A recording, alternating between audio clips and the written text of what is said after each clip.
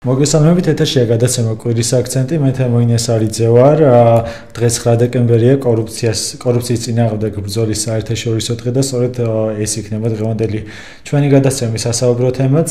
გადაცემაში სტუმრად საერთაშორისო გამჭირვალება საქართველოს რეგიონული კოორდინატორი თამუნა უჩიძე ყავს მოგესალმებით თამუნა მოგესალმებით თქვენ მადლობა მოწვევით. მნიშვნელოვანი თემაზე სასაუბროთ ბრძანდებით აქ და დღეს გამოქვეყნდა თქვენი ორგანიზაციის კვლევა თქვენს მიერ მომზადებული, რომელიც როგორც აღნიშნე, კორუფციას ეხება და მის რისკებს და პირდაპირ დავიწყოთ ამაზე საუბრით, რომ გითხრათ თქვენ კვლევის მიხედვით როგორ იყენებს მილიარდელი ბიძინა ინვანიშვილი და ქართული ოცნება მათთან დაკავშირებულ კომპანიებს და მათ მიერ განხორციელებულ პროექტებს თავისე სასარგებლოდ. მოგესალმებით, მივესალმებით თქვენს მსმენელს და მაყურებელს. დიახ, დღეს გამოქვეყნდება, გამოქვეყნდა აბასთუმაში კორუფციის რისკების შესახებ ჩვენი ვრცელი კვლევა. აა მოკლედ 2018 წლის შემდეგ 2018 წლის აგვისტოდან რაც ბიძინა ივანიშვილი აბასთუმანში ჩამოვიდა და აქ მოკლედ გადაწყვიტა რომ სახლი აეშენებინა ამის შემდეგ რაღაცნაირად რაღაცა საოცარი ტემპით შეიცვალა ყველაფერი აბასთუმანთან დაკავშირებით. პირველი რაც მან გააკეთა, იყო სახლის ასაშენებლად მიწა იყიდა და ამის შემდეგ შემდეგ ტუპ საავადმყოფოს გატანა გადაწყვიტა აბასთუმნიდან 3 კილომეტრის მოშორებით გაიტანა. ეს იყო სანატორიუმ ზეკარის ყოფილი ტერიტორია, სადაც მან ასე ვთქვათ რეზიდენცია შენა და აქ ასევე ამ ზეკარის მიმდებარედ მცხოვრები ადამიანები გაასახლა აქედან.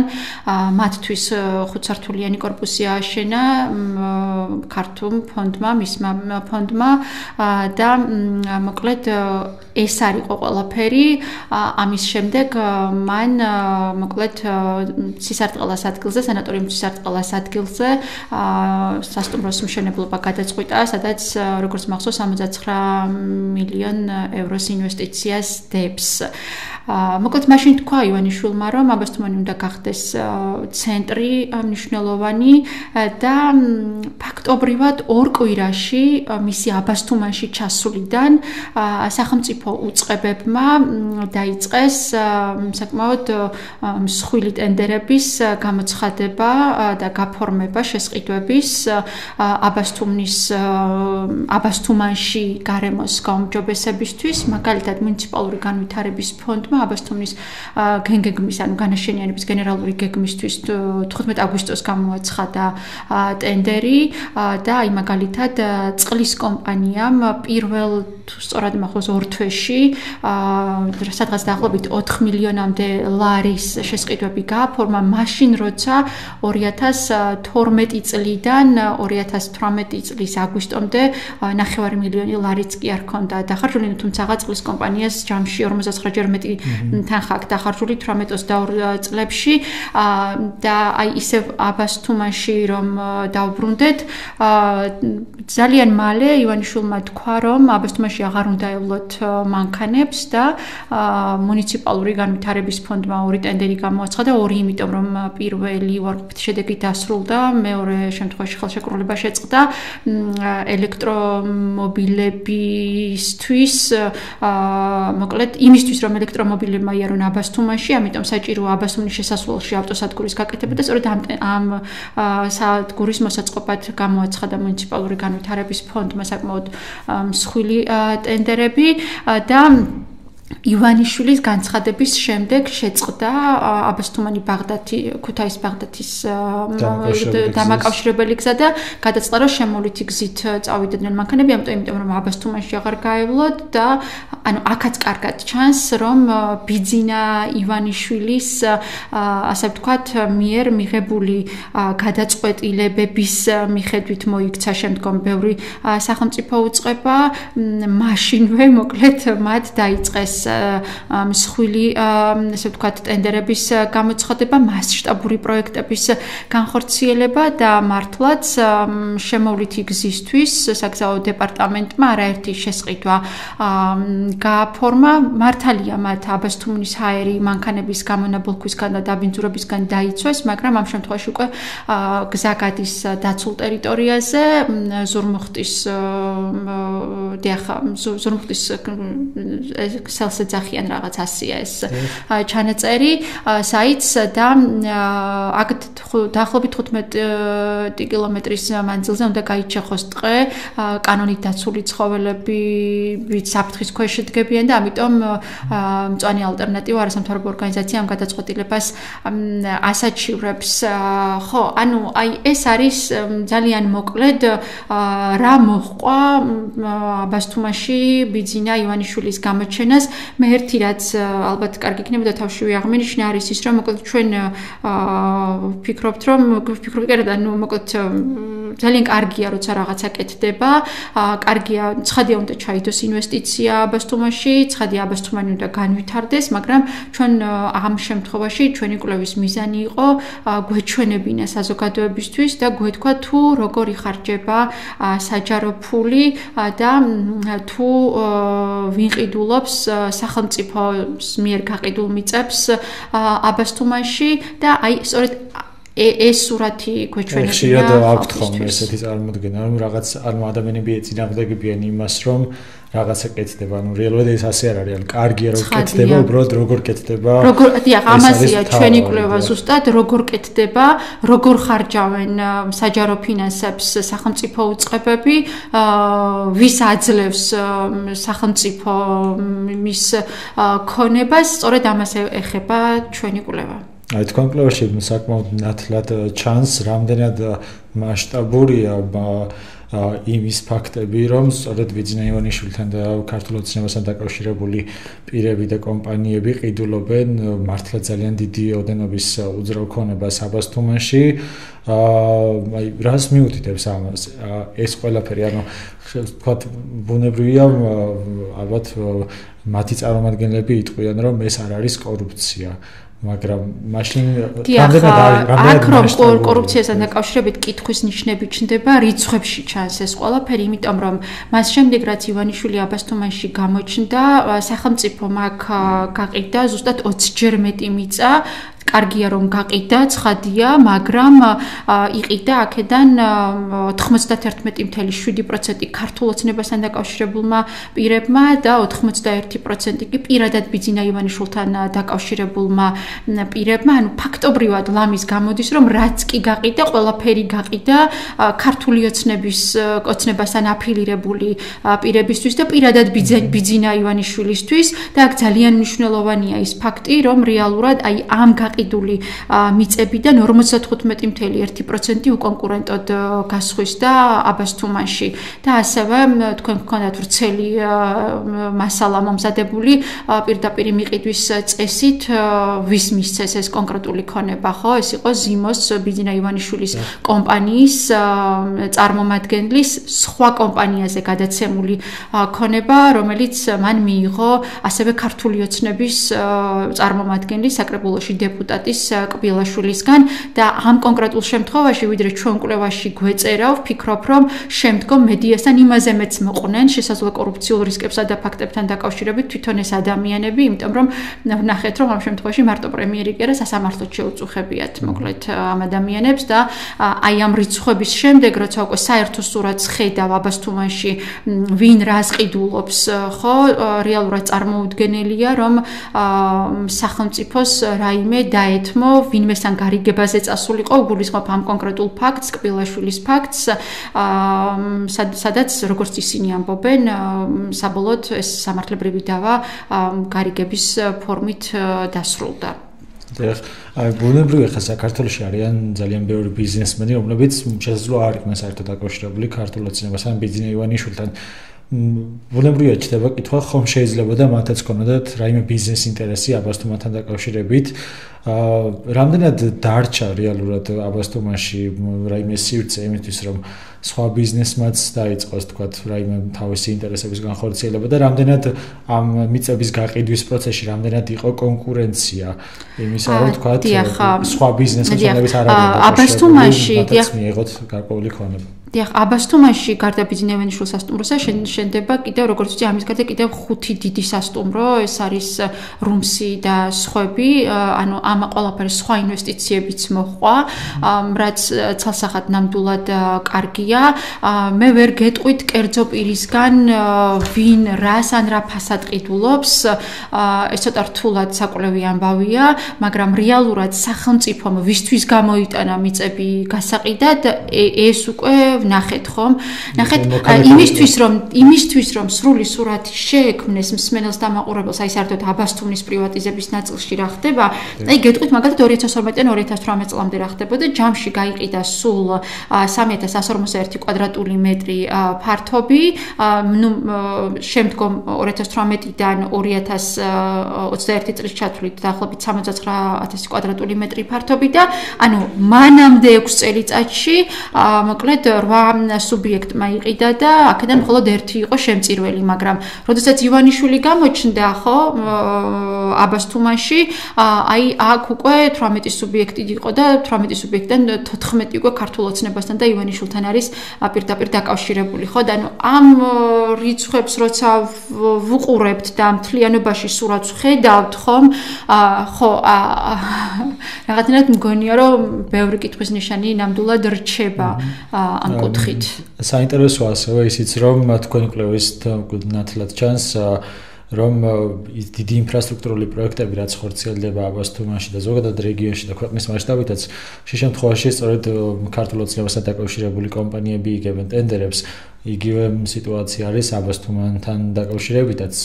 საინტერესოა ადგილობრივი ორგანიზაცია ადგილობრივი კომპანიები რომლებიც მონაწილეობენ ტენდერებში და თან არიან შემწირველები არტის. რამდენად ასე ვთქვათ ბევრი ასეთი კომპანია ჩვენს რეგიონში და როგორია როგორი სურათი გვაქვს ზოგადად აბასთუმაში კონკრეტულად მხოლოდ ერთი ასეთი ადგილობრივი კომპანია ოპერირებს, ეს გახლავთ შეპესი არალი, რომელიც უშუალოდ ბიძინა ივანიშვილთან არის დაკავშირებული. ჩვენ გადაცემაში საუბარი ამ თემით დავიწყე. სწორედ შეპესი არალის ერთ-ერთმა მესაკუთრემ, რომელიც უკვე გარდაცვლილია, მაგრამ ისი ოჯახი ფლობს ამ კომპანიას, მიხყიდა ბიძინა ივანიშვილს მიწა აბასთუმაში სახლის ასაშენებლად და ამის შემდეგ ეს კომპანია ჩაერთო აბასთუმაში ბიძინა ივანიშვილის მიერ დაწყებულ თითქმის ყველა პროექტში, აი მაშინ როდესაც ჟურნალისტები მიდიოდნენ იქ სამშენებლო პროცესებზე, თითქმის ყველა, აი თუნდაც მოსამზადებელ სამუშაოში უშუალოდ იყო ჩართული კომპანია არალი. და ამ შემთხვევაშიც შეპესი არალი არის ერთ-ერთი ის კომპანია, პირველ ორ პირველი ორი, ანუ ორი კომპანია ასეთი, რომელმაც ყველაზე მეტი ტენდერი მიიღო აბასთუმნის შესყიდვებიდან, ეს გახლავთ შეპესი ჯეოგრუპი და შეპესე არალი მათ ჯამში მიღებული აქვთ დაახლოებით 140 მილიონ ლარზე მეტი. ზოგადად სახელმწიფო შესყიდვებთან დაკავშირებით ვიდრე უფრო ვრცლად ვისაუბრებდე, მინდა გითხრათ, რომ ჩემს კვლევაში მოხდა ის კონკრეტული შესყიდვები, რომლებსაც ხელშეკრულებაში მიზნობრიობაში მითითებული ჰქონდათ აბასთუმანი. ის შესყიდვები, სადაც რომლებიც გაფორმდა ზოგადი რაღაცა საჭიროებებისთვის, მაგრამ კონკრეტული ლოკაცია არ იყო მითითებული, ხო? ასეთი ხელშეკრულება ჩემს კვლევაში ვერ მოხდებოდა. და ჯამში სულ 6-მა სახელმწიფო უწყებამ ეს გახლავთ საგზაო დეპარტამენტი, მუნიციპალური განვითარების ფონდი, წყლის კომპანია, წყალმომარაგების, დაცული ტერიტორიების სააგენტო, ადგენის მუნიციპალიტეტის მერია და კულტურის და ძეგლთა დაცვის სააგენტო, მათ ჯამში 14 ჯერ მეტი თანხა გაწერეს აბასთუმნის განვითარებისთვის. ეს არის 250 მილიონი ლარი და ამ თანხიდან 83%-იც მიიღეს 83% მიიღეს ქართული ოცნების შემწირველებმა. და განსაკუთრებით აღსანიშნავია ის არის, რომ ამ 83%-დან 58.1% ქართული ოცნების შემწირველმა კომპანიებმა მიიღეს ოღონდ უკონკურენტოდ და მათი კონკურენტების დისკვალიფიკაციით. მოკლედ, ტენდერში რომ შედიოდნენ, ან არ ყავდათ საერთოდ კონკურენტი, ან თუ ყავდათ, მათ დისკვალიფიკაციას ანიჭებდნენ და მოკლედ აი ამ ოცნების შემწირვალ კომპანიებს ეცით რა მორგებულსთან დაკავშირებით ამ კონკრეტული მიმართულებით შესაძლოა რომელიმე იყო, მაგრამ მე კვლევაში ამაზე არ მაქვს საუბარი და ამიტომ გამიჭირდება რომ გითხრათ კიდევ ერთი მოკლედ რაც მინდა გითხრათ ყველაზე მეტი თანხა დახარჯა საავტომობილო გზების დეპარტამენტმა. ეს არის 150 მილიონი ლარი და აქ უკვე 99% დაახლოებით 115 მილიონ ლარზე მეტი. ქართული ოცნების შემწირველებმა მიიღეს ასევე უკონკურენტოდ და ასევე სხვა პრეტენდენტების დისკვალიფიკაციით და რაც შეეხება აი თქვენი შეკითხვა იყო ადგილობრივი კომპანია. ადგილობრივი კომპანია როგორც გითხარით ამ კუთხით ლიდერობს არალი. და მაგალითად მუნიციპალური განვითარების ფონდ 74 მილიონ 600.000 ლარი აქვს ჯამში გაწერილი აბესტომის განვითარებისთვის 2018 წლიდან მოყოლებული დღემდე. და აქ მხოლოდ 40 მხოლოდ ერთმა კომპანიამ შეპესი არალმა 47 მილიონი ლარი მიიღო ეს არის 63% ყველაზე ანუ ერთადერთი უצება საჯარო რომელმაც აბასთუმნისთვის იმაზე მეტი თანხა გაწერა Um, uh, uh, ვიდრე ბიძინა ივანიშვილის გამოჩენის შემდეგ, ანუ 2012-13 წლებში უფრო მეტი დახარჯა ვიდრე 2018-დან 2022 წლამდე, ეს გახავთ ადგენის მუნიციპალიტეტის მერია ოღონდ. აქაც 2018-დან 22 წელს წელში გაფორმებულ შესყიდვებს რომ ვუყურებთ, აქაც 58% ქართული ოცნების შემწირველ კომპანიებს აქვთ მიღებული და ოღონდ ისე რომ ანუ ანუ კონკურენტები იყვნენ და ან კიდე თუ კონკურენტი ყავდათ მათ დისკვალიფიკაციას ანიჭებდნენ და აქაც არალი ლიდერობს და არის ასევე საგზაო სამშენებლო სამართლო ნომერი 2 ესეც ადგილობრივი კომპანია თუმცა აბასთუმნის შესყიდვებში ნამდვილად არ აქვს იმდენი მილიონი ლარი მიღებული საგზაო სამშენებლო სამართლო ნომერ 2-ს რამდენიც აქვს შეპესე არალს.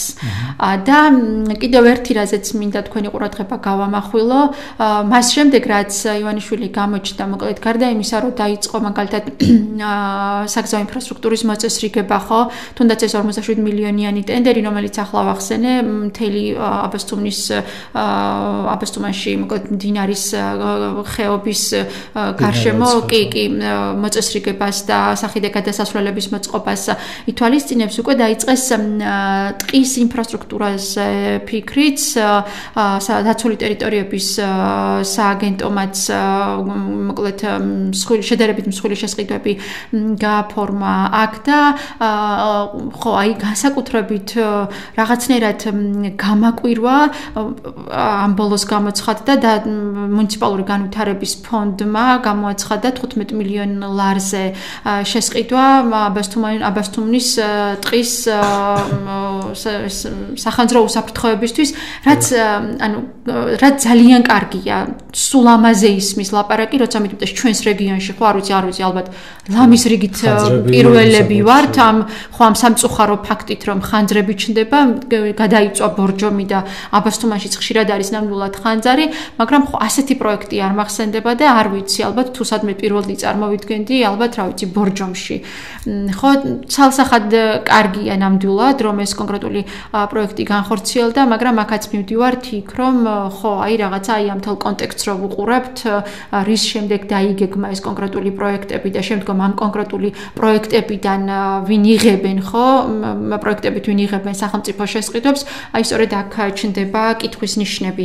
და ისევე როგორც პრივატიზების პროცესში სახელმწიფო შესყიდვების ნაწილშიც სრული სურათი რომ შეექმნას მსმენელს და მაყურებელს გეტყვით რომ მანამდე დახარჯული იყო 17 მილიონი ნახევარი ლარი 2012-18 წლებში და აქედან 7 მილიონი იყო გაწერილი ქართული ოცნების შემწირველებზე და 2018 წლის შემდეგ მოკლედ 14 ჯერ მეტი თანხა გაწერეს საჯარო უწყებებმა ოღონდ 6 უצება წარმოდგენილი 2018 წლიდან 2022 წლამდე და 2012-დან 18-მდე 5 აქ არ გულისხმობთ ჩვენ კულტურის და ძეგლთა დაცვის სააგენტოს, რომელსაც 2012-18 წლებში შესყიდვა აბასთუმაში არ ქონია და აქვე კიდევ ერთხელ გავიმეორებ, რომ თუ ეს რაიმე კონკრეტული შესყიდვა არსებობდა, არ ვიცი, რაღაცა კონკრეტული თანხა დახარჯეს აბასთუმისთვის, მაგრამ ეს კონკრეტულ სატენდერო დოკუმენტებში მითითებული არ არის, ცხადია ეს ამბავი ჩემს კვლევაში ვერ მოხვდებოდა. თქვენ კვლევაში ასევე საკმაოდ ნათლად იყო ხაზგასმული ის საკითხიც, რომ ევროკავშირში საქართველოს კანდიდატის წევრის სტატუსი მიიღოს ის 12 რეკომენდაცია, რაც უნდა დააკმაყოფილოს ქვეყანამ, ერთ-ერთი ნაწილი მოიცავდა ასევე კორუფციას კორუფციასთან ბრძოლას. კიდევ ერთხელ განვუმარტოთ ჩვენს მსმენელს და მაყურებელს ზოგადად რატომ არის საფრთხე ქვეყნის განვითარებისთვის და ზოგადად მომავლისთვის მოკლედ და გრძელვადი ამ პერიოდში კორუფცია და როგორ შეიძლება რომ შეაფერხოს ამ მოვლენებმა ასე ვთქვათ ქვეყნის ხო წინსვლა იმ სასურველი მიმართულებით, რაზეც საუბრობთ, რა თქმა უნდა, ევროპაში. დიახ. ჩვენს ქვეყანაში რომ მაღალი დონის კორუფცია, ამაზე უკვე მეტყველებს ის ფაქტიც, რაზეც ახლა ახლა თქვენ საუბრობთ, იმ 12 პუნქტში ერთ-ერთ შესასრულებლად ჩაგვიწერეს კორუფციის წინააღმდეგ ბრძოლა და დაიწყო მოკლედ მიმართულებით სახელმწიფო მუშაობა. თუმცა აქ საუბარია იმაზე, რომ რომ ის ბიურო, რომელსაც ესენი ისინი ქმნიან, არ იქნება დამოუკიდებელი, იმიტომ რომ მას ხელმძღვანელს უნიშნავს პრემიერი და ასევე იმისთვის რომ სრულად, როგორ ვთქვათ, იფუნქციონიროს და იმუშაოს, ეს ფაქტობრივად შეუძლებელი იქნება, იმიტომ რომ მას არ იქნება საგამოძიებო უფლება, ხო? მაგრამ ამ შემთხვევაში მე იმეც მიტოვებს ის ამბავი, რომ იქნება ვენეციის ვენეციის კომისიას გადაუგზავნია არიან ალბათ და იქნებ რაღაცა საბოლოოდ ამ კონკრეტული ცვლილებების ესე ვთქვათ დასრულებამდე რაღაცნაირად იქნებ კიდევ რაღაცები შეიცვალოს.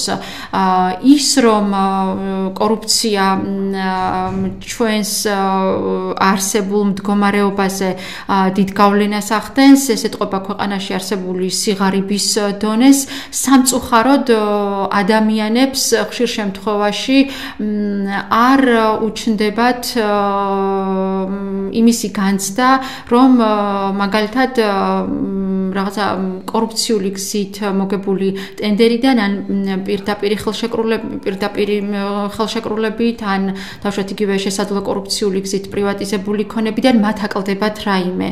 აი ამისი განცდა არ არსებობს ადამიანებში, რომ ბიუჯეტის ფული თუ იხარჯება მოკლედ რაღაცნაირად კორუფციული სქემებით არ უჩნდებათ განცდა რომ ეს მათ აკლდებათ ეს განცდა რომ იყოს საზოგადოებაში მე მგონია რომ ამ კორუფციის წინააღმდეგ ბრძოლის თვალსაზრისით შედარებით უფრო მოკლედ წინ ვიქნებოდით და ეს კონკრეტული სურათი ნამდვილად არ გვექნებოდა.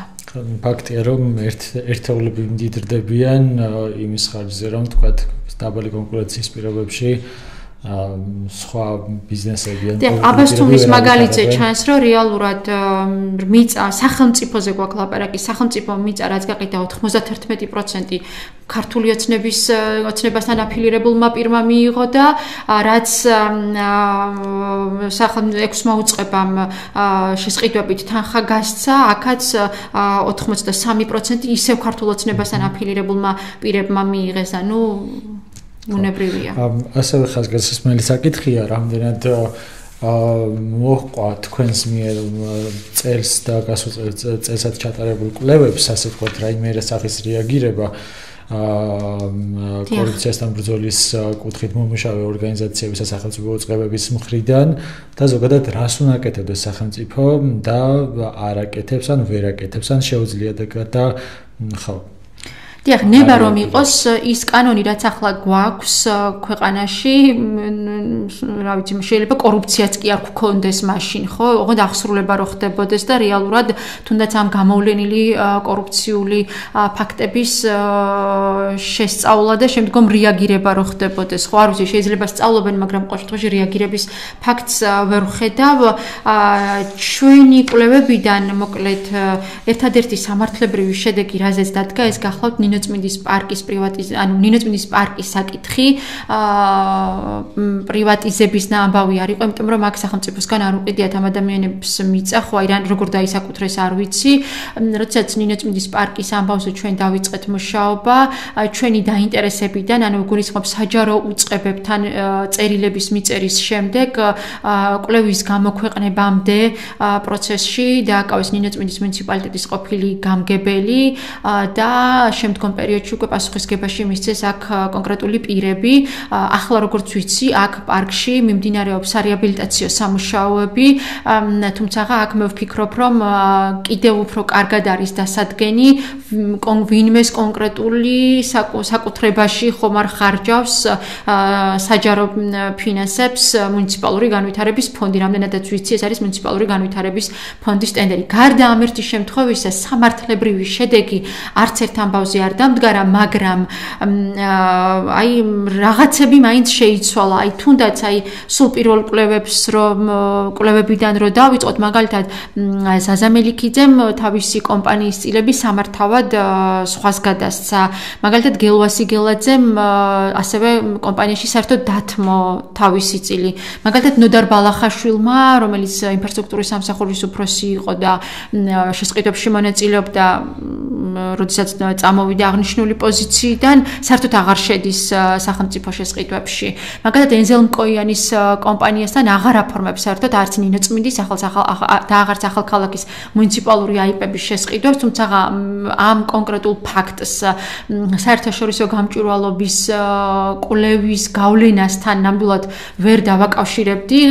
მე მგონია, რომ ეს ყველაფერი მოხდა იმიტომ, რომ თვითონ ენზელ მკოიანს დაეძაბა ურთიერთობა მართლ პარტიასთან ამისი ამ ამბავი მგონია და ამის შემდეგ მოკლედ ნინოწმინდის მუნიციპალიტეტის მერიას და აიპებს არც ერთი შესყიდვა აღარ გაუფორმებიათ. აქ საინტერესოა ის ამბავი, რომ როდესაც ჩვენი კვლევა გამოქვეყნდა ჟურნალისტებს, მაშინ ნინოწმინდის მუნიციპალიტეტის მერი ეუბნებოდა, რომ მოშორებით მდებარე მდებარეობდა შედარებით შორს იყვნენ ის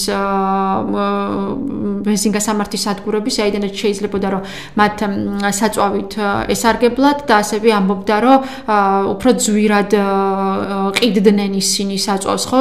და მაშინ საინტერესოა თუ ენზონკოიანის კომპანია, რა ვიცი, მთელი 12 თუ 10 წლის განმავლობაში იაფად აძლევდა, ახლა გაუძვირა და ანუ თუ ახლა ხარჯავს ნინოწმინდის მუნიციპალიტეტის მერია შედარებით მეტ ფულს, ხო? იმისთვის საწვავისთვის. აი ამ წუთში უფრო სწორად მას მერე რაც ენზელ მკოიანის კომპანიებთან ხელშეკრულებებს აღარ აფორმებენ ინეწმინდის მერია და მისი მუნიციპალური აიპები ლუკოილ ჯორჯიასთან და ვისოლ პეტროლიუმ ჯორჯიასთან ფორმდება ხელშეკრულებები და მე დავინტერესდი რომ მეთქი ეს э, ბენზინგასამართლისადგურები ახლა აშენთან ინეწმინდაში ანუ აქამდე ანუ არ იყვნენ და ხო რა თქმა უნდა ესენი ბევრი წელია აქ აქ აქ არიან და ოპერირებ აი ეს ეს არის ძალიან ნათელი მაგალითი რომ როგორც კი ადამიანს ქართულ ოცნებასთან დაეძა იზაბა ურთიერთობა იმ დღიდან არც ერთ საჯარო უწყებას მის კომპანიასთან არ გაუფორმებია შესყიდვა. მაგრამ ნუ ყოველ შემთხვევაში ჩვენ კვლევას მოყოლილ შედეგებს ამას ნამდვილად ვერ მივაწერ.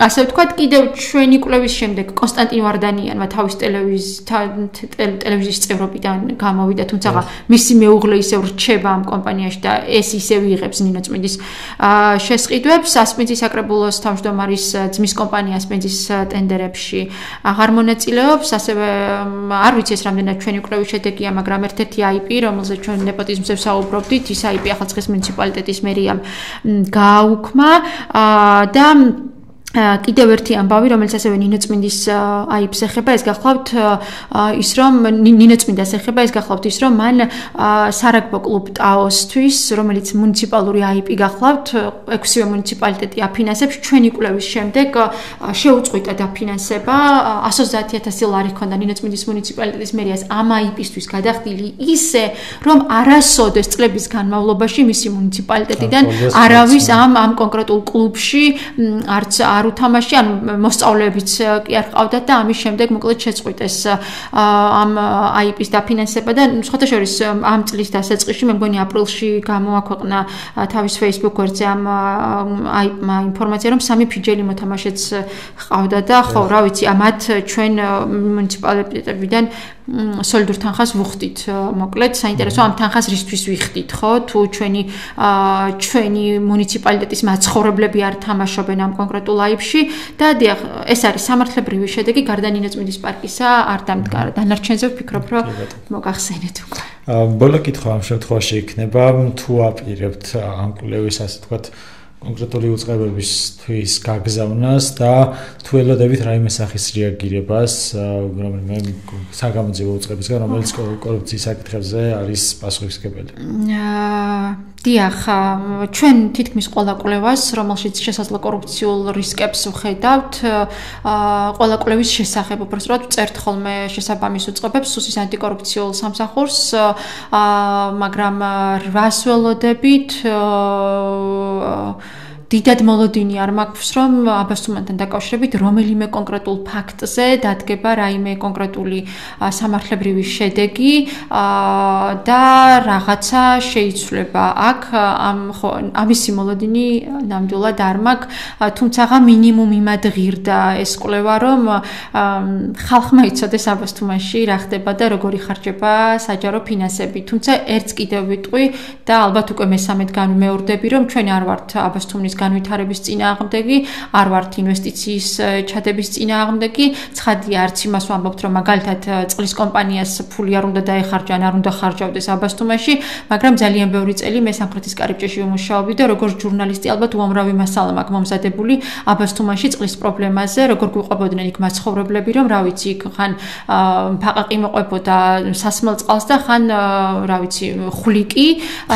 ხო, კი, ნამდვილად ასე იყო, ალბათ ბევრი მასალა იძებ იგებნება გაზეთშიც და ვებგვერდზეც და ხო რატომღაც მანამდე აქ ადამიანები არ ცხოვრობდნენ. ხო აი რაღაცნაირად ეს არის თორემ ცხადია იმას არ ვამბობთ რომ რაღაცა არ უნდა აშენდეს და არ უნდა განვითარდეს.